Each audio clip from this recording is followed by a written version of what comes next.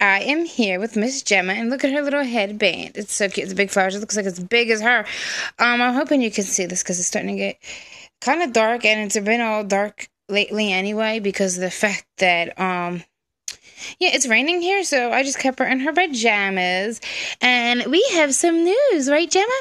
Okay, so I am reborn pregnant again.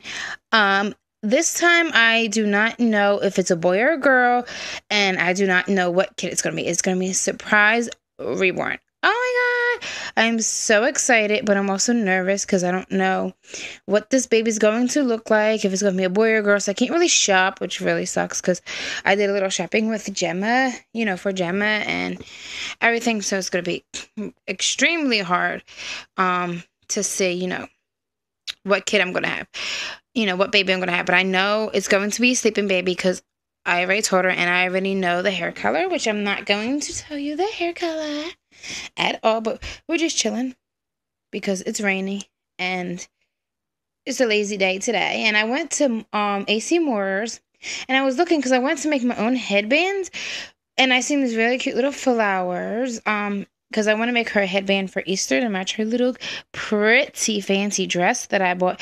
But the only problem with that is I could not find um a band. I found these bands that I liked and then I read it again and it said that it was for like a bracelet for your wrist and stuff and I was like, "Oh man, shucks, you know." I was like really mad cuz they're really pretty. They're pink with glitter, purple with glitter, and the other one was pink purple and I believe silver, but they were like so glittery and you know, not the kind of glitter that like gets all over you, but it's the kind it's like it's hard to explain, but it's just know that it was glittery and I found this cute um flower, purple flower and a white flower that I was gonna put on there, little ones. You know, littler than this, so it would look better because this here is like whoo big and it kind of like takes over her head a little bit. Can't even see that could. Wow. Okay, well I just wanted to let you know that I'm reborn pregnant again. So thanks for watching.